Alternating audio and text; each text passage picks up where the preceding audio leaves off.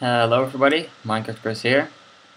Today I made this uh, bud activated block swapper. So actually Venoman uh, asked me if I could make a smaller version than this one over here, which is pretty huge. Um, so yeah, I'm here in his in his uh, plot. I've designed four ver versions, but this one turned out to be the best. So you place a redstone or a torch and it swaps the block. Now this design is only 80 blocks. It's 4 by 4 by 5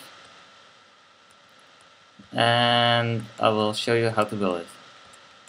So you start off with uh, a piston setup like this, a furnace with one item and a comparator like this, then place a block with two torches on either side. And place a block here with redstone. Then a repeater going into this block into a torch and a block on top. Same thing on this side. Repeater like that into the piston into the torch into a block um, now you need a block right here, a block right here, sticky piston right here,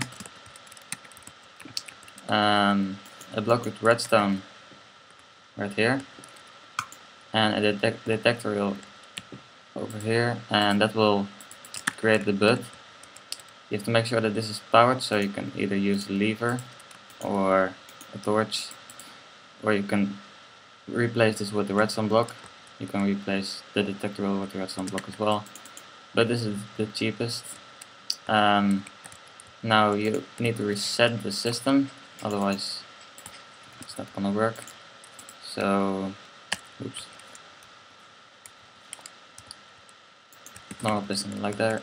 And this is the block that's gonna be swapped, so you place the redstone and it swaps.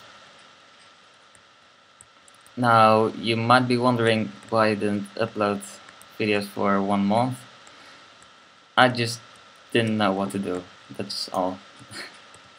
uh, some people upload crap when they don't know what to do. I don't like that. Um, so yeah, I, I, think I'm like going back to redstoning, redstoning again.